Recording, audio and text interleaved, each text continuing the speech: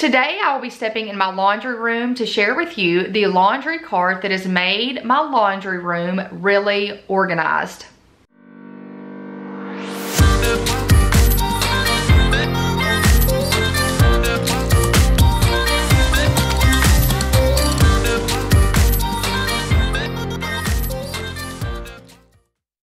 Guys, I'm Kristin and welcome to the Gold Project. If you are new here, welcome. We hope you decide to become a part of our community by clicking that red subscribe button below. Also hit that bell notification so you are informed every time I post videos. I post videos at least three times a week, Monday, Wednesday, and Friday. And on this channel, we have a mission to get organized on a budget and with a plan together. So I hope you decide to click that red subscribe button and to become a part of our community and our mission. So I shared this slim laundry cart on my channel, I want to say in the very beginning in like 2015. And I will be honest with you, I had that laundry cart labeled to like three labels per shelf. There are four shelves to this one slim cart. I really think that a person can be too organized. I know, you heard me say that. You can be too organized, and that was way too organized. For me to have a label that said laundry detergent on it, and static guard, you guys, that's just not, that's way too organized. So, all the labels came off, and we have been using this cart in the same way since 2015 Right now, the card is $29.99, but right now I looked it up and it is on sale for $17.99. It is very slim. It fits perfectly between my washer and my dryer. Now, I will tell you, I've seen several other people with the same type of cart from other places. So if I can figure out where they have gotten those, I will link those in the description as well. Because maybe you don't have a container store near you. Maybe you don't want to pay to have it shipped to you. I will try to leave some alternatives in the description below as well. So what we're going to do right now is we're going to go into my laundry room and I'm going going to share with you how I have this cart organized. Now we're in my laundry room and actually I'm standing in my kitchen pointing the camera in my laundry room. So this is my kitchen here and then you'll see Bella, she is eating. The reason Bella's food has got to be left on the top of the dryer because Armani will eat it if it's anywhere near him. So we've had to move her food to the dryer. So that is where she eats her food to keep it from nosy from eating it because it will make him really sick if he eats it. So if you're wondering the little white tub in the floor, that is down there for my microfiber cloths. So when they need to be cleaned, I just put them there to the side because they're washed separate. So washer and dryer, and in the middle is where I have my little laundry cart. So the laundry cart is nestled between the washer and the dryer. So that is what the laundry cart looks like. It has rollers on the bottom. So it fits nicely just right in between the washer and the dryer and it glides out pretty easy. Like so. And this is what we have on it. So I did take everything off this a few weeks ago and cleaned it because being in the laundry room, it does get really dusty. So this top shelf here basically holds all the stuff that I reach for the most often. Now we are trying to switch detergents. I'm going I'm trying a new detergent. So if you've been part of this community for any length of time, you know I have loved and still love the Method um, laundry detergent. This is the ginger mango. That is my favorite. But I saw some consumer reports that said this Persil, I don't know how to pronounce it, Proclean is one of the top laundry brands and they say it came from Europe. It's a European brand, I think is what I read. And it's just now making it to the States. So I thought, you know what? Let me give that a shot. And you guys, I am really liking this. It costs basically the same. I'm really liking it. So I may switch over to this from now on. And this I can get at my local Walmart. I've got a little Downy Wrinkle Releaser here. And you guys, the big bottle is down there.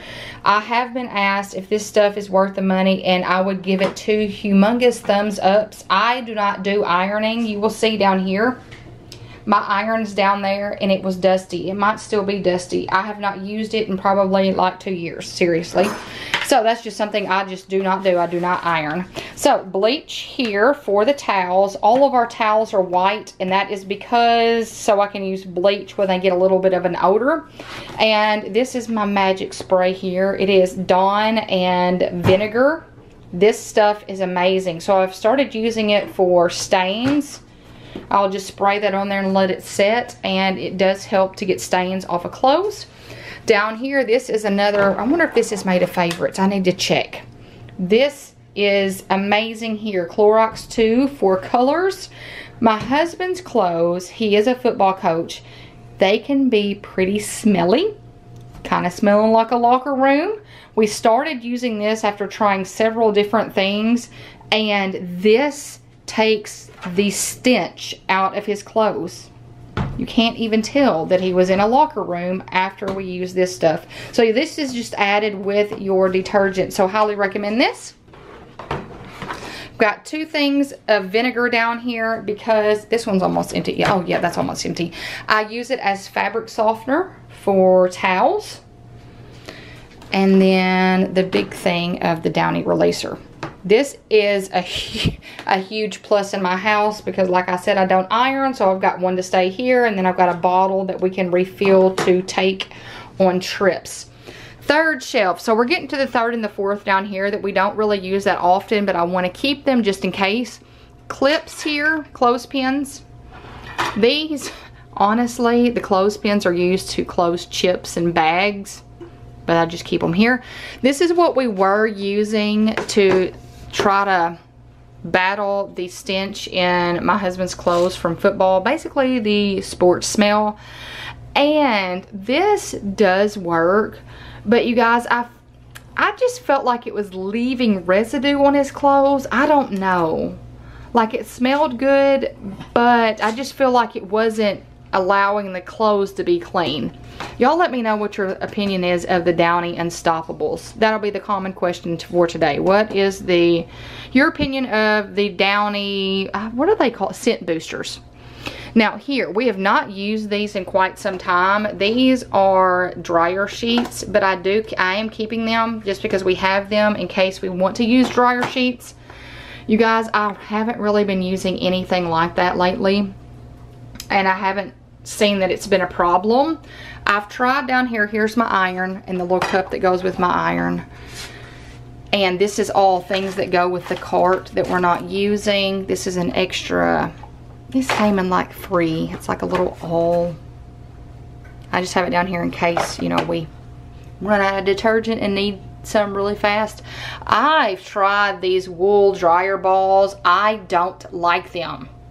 They left static in my clothes and I, I just, I'm keeping them, but I just don't like them. Is there a trick to make it to where you don't have static on your clothes?